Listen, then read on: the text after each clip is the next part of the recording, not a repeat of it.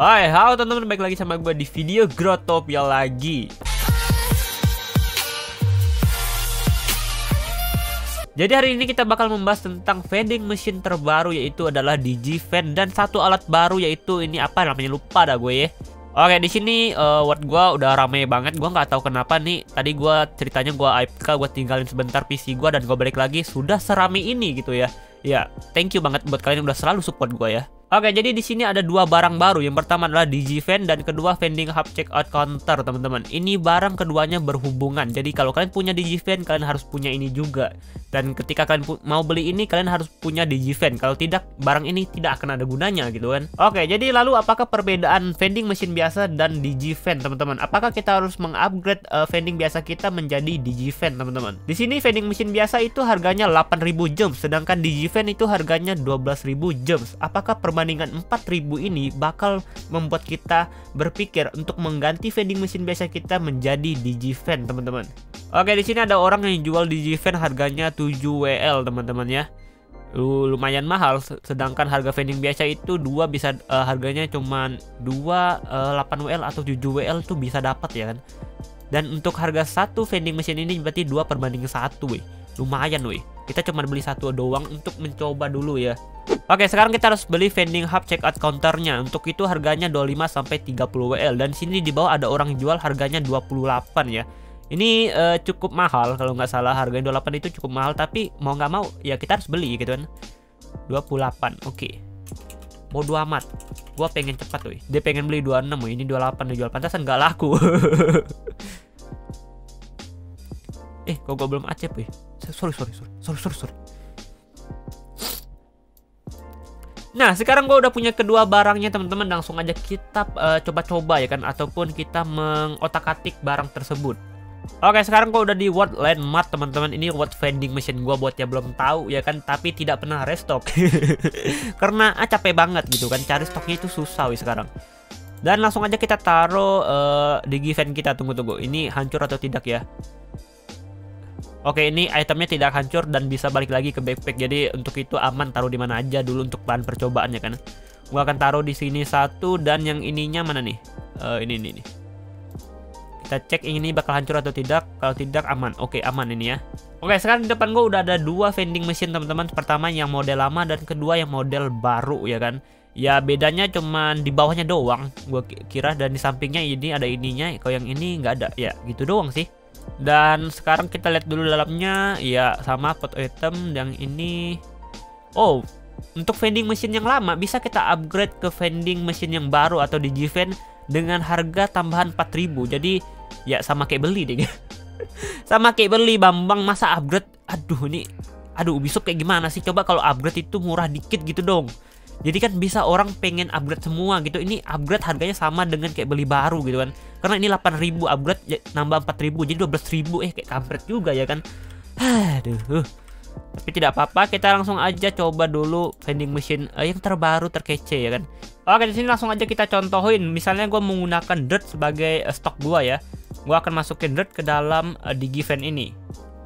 Ya, di sini harganya masih nol. Gua akan coba ubah menjadi satu per WL. Bayangkan harga dirt 1 per WL, woy. Oke, mantap. Oke, jadi si DigiVan itu bisa memberitahu kita kalau harganya itu sesuai pasaran atau kemahalan, teman-teman ya. Jadi si DigiVan itu mesin yang pintar walaupun masih belum sempurna ya kan karena ya masih ada beberapa barang yang dia nggak bisa deteksi dan ada beberapa barang yang nggak cocok juga harganya, wey. Oke, gue akan menggunakan contoh lainnya itu uh, apa ya fish tank ya fish tank di sini gue ada fish tank gue akan masukin dan kita ganti harganya satu per WL. Wile tuh kan. Dia di sini bisa bilang kalau harga ini fish tanknya terlalu mahal ya kan. Bayangkan sampai 500% weh. Memang orang yang jual fish tank satu per WL itu memang kampret.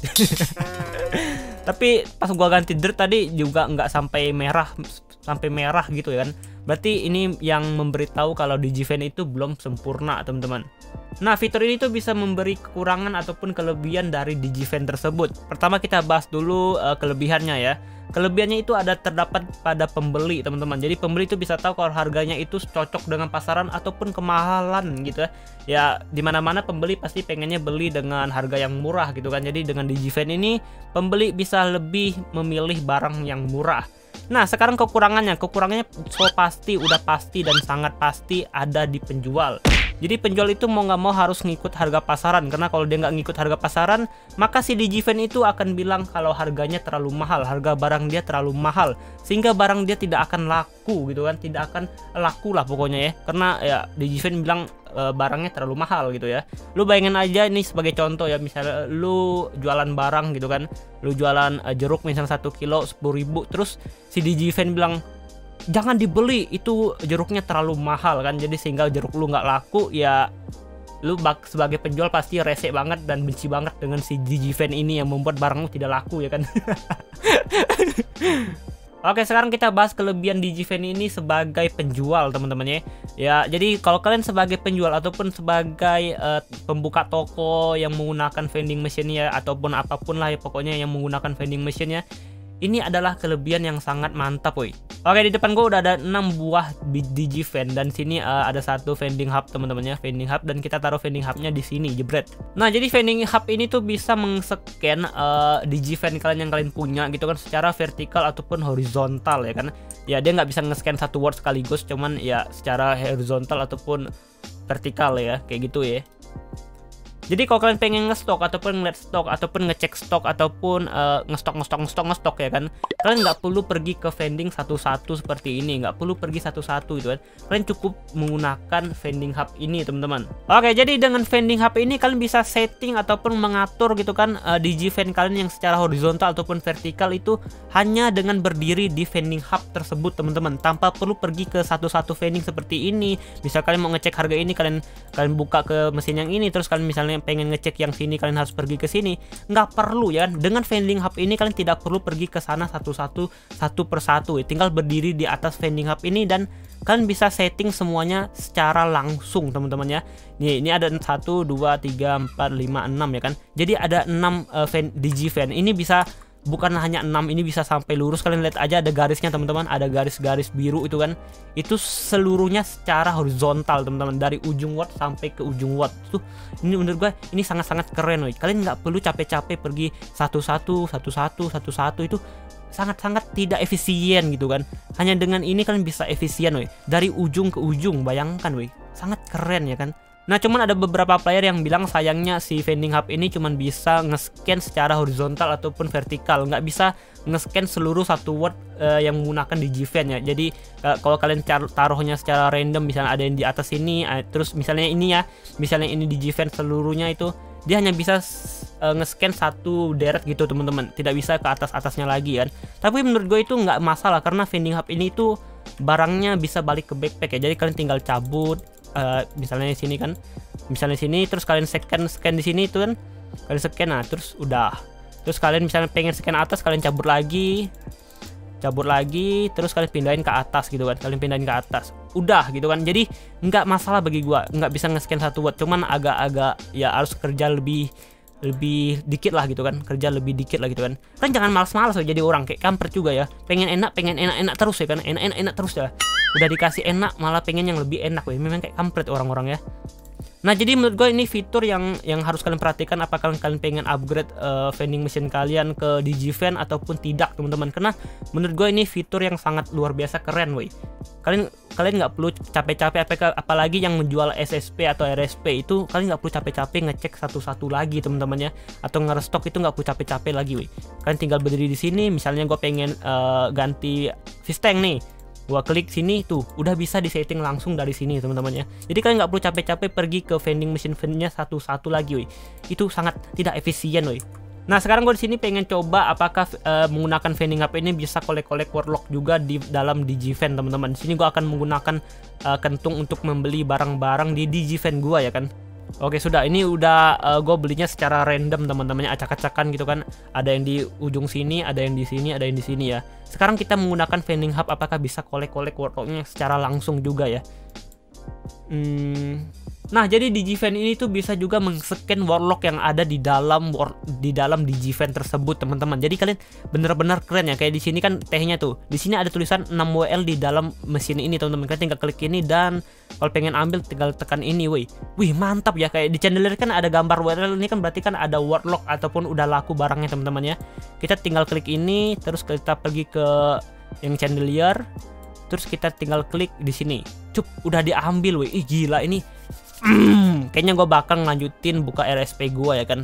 Karena udah nggak capek lagi weh sekarang. Dulu gue males karena capek banget weh parah ya kan. Harus pergi satu-satu vending satu-satu vending. Kalau ini kan nggak perlu nih. Tinggal pergi ke sini kita tinggal cari misalnya yang mana ada warlock. Ini kan belum laku nih berarti belum ada warlock nih berarti belum ada yang beli gitu kan. Di sini juga belum ada yang beli di sini belum ada yang beli dan di sini ada tulisan ada 5 warlock di dalam vending machine yang ini teman-teman.